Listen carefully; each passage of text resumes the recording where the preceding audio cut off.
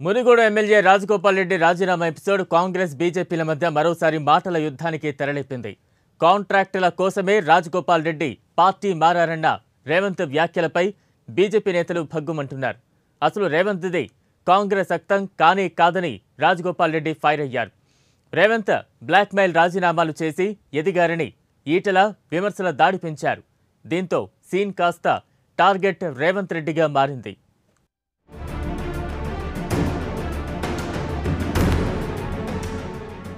రాజ్గోపాల్ రెడ్డి రాజీనామాపై రేవంత్ రెడ్డి చేసిన వ్యాఖ్యలు రాజకీయ దుమారం రేపుతున్నాయి. తాను కాంట్రాక్టుల కోసమే పార్టీ మారానన్న రేవంత్ రెడ్డి కామెంట్స్పై రాజ్గోపాల్ రెడ్డి తీవ్రంగా స్పందించారు. డబ్బులు పెట్టి పీసీసీ పదవి తెచ్చుకున్న వాళ్ళు తనను విమర్శిస్తున్నారని మండిపడ్డారు. సీఎం పదవి కోసం రేవంత్ కాంగ్రెస్లో చేరారన్నారు. సోనియాను రేవంత్ బలిదేవత అన్నది నిజం కాదా అని రాజ్గోపాల్ రెడ్డి ప్రశ్నించారు. కానీ ఇప్పుడున్న కాంగ్రెస్ పార్టీని ఇతర పార్టీలకు సంబంధించిన నాయకులు డబ్బులు పెట్టి పిసిసి ప్రెసిడెంట్ అయ్యి ముఖ్యంగా నన్ను విమర్శించిన రేవంత్ రెడ్డికే చెప్తున్నా. ముఖ్యమై ముఖ్యమంత్రి అయి పెద్ద ఎత్తున రాష్ట్రాన్ని దోసుకోవాలని ఒక ప్లాన్ చేసుకున్నాం. అందులో భాగంగానే కాంగ్రెస్ పార్టీలో చేరినప్పుడు నాలాగా ధైర్యంగా స్పీకర్ ఫార్మెట్లో నువ్వు రాజీనామా చేస్తాను ముందుకు రాలే. నీ రాజీనామా పత్రం ఎవరికి ఇచ్చినావు? చంద్రబాబు నాయుడుకి ఇచ్చినావు. కరెక్టా?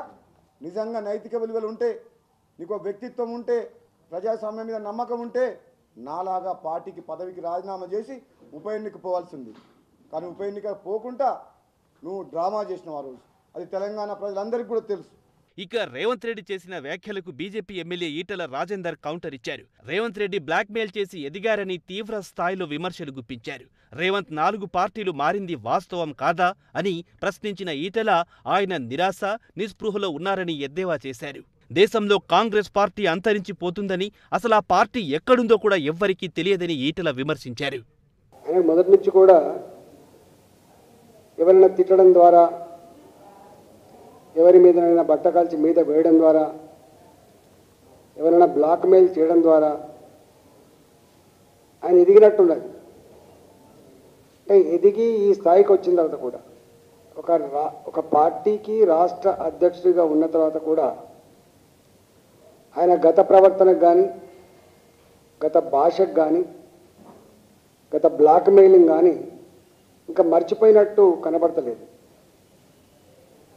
ఎప్పుడు కూడా ఒక వ్యక్తి ఎదుగుతున్నప్పుడు సంస్కారవంతంగా సభ్యత ఓ పద్ధతి ఉండాలి.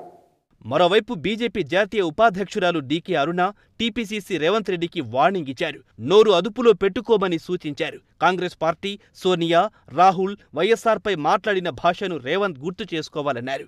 రేవంత్ కాంగ్రెస్ పార్టీలో పుట్టి పెరిగారా? అదే పార్టీకి సేవ చేసి టీపీసీసీ అయ్యారా? అంటూ ప్రశ్నించారు. సోనియాను గతంలో తెలంగాణ తల్లి కాదని ఇప్పుడు భక్తుడిగా చెప్పుకుంటున్నారని డీకే అరుణ ఎద్దేవా చేశారు. భారతీయ జనతా పార్టీ పైన మరి రాజగోపాల్ రెడ్డి గారి పైన ఇంతగానం విరుచుకపడడానికి కారణం వాళ్ళ అసహనం వాళ్ళ అశక్తత. కాంగ్రెస్ పార్టీ ప్రజల లోపల కోల్పోతున్నటువంటి విశ్వాసాన్ని కోల్పోతున్న విశ్వాసాన్ని కోల్పోతున్నటువంటి తీరు ఇవన్నీ కూడా వాళ్ళని జీర్ణించుకోలేనటువంటి పరిస్థితిని కల్పిస్తున్నాయని చెప్పి నేను తెలియజేస్తాను ఇంకొకసారి మాట్లాడే ముందు ఒకరిని వ్యక్తిగతంగా విమర్శించే ముందు ఎందుకంటే ఒకవేళ చూపిస్తే నాలుగు వేలు మన వైపు చూపిస్తే అనే విషయాన్ని ఎప్పుడు మర్చిపోదు. మొత్తానికి కోమటిరెడ్డి రాజగోపాల్ రెడ్డి రాజీనామా వ్యవహారం తెలంగాణ రాజకీయాల్లో హాట్ టాపిక్గా మారింది.